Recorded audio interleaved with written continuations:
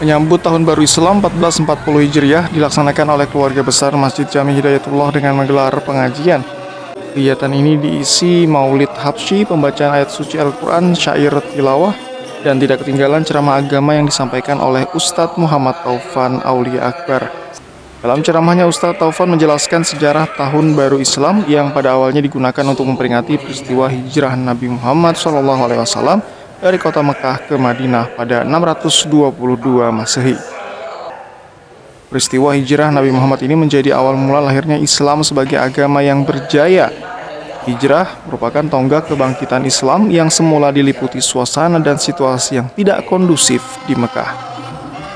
Hijrah sejatinya mengandung semangat perjuangan tanpa putus asa dan rasa optimisme yang tinggi, yaitu semangat berhijrah dari hal-hal yang buruk kepada yang baik tahun baru Islam ini kan apa uh, dihitung dari hijrahnya Nabi dari Makkah ke Madinah.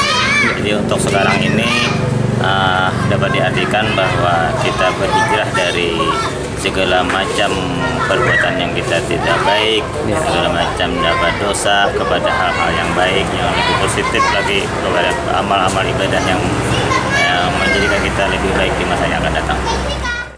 Dalam konteks masa kini, peristiwa hijrah dimaknai sebagai penanaman nilai dan semangat berhijrah untuk memperbaiki diri sendiri, serta berani meninggalkan sesuatu yang buruk dan beralih kepada kebaikan.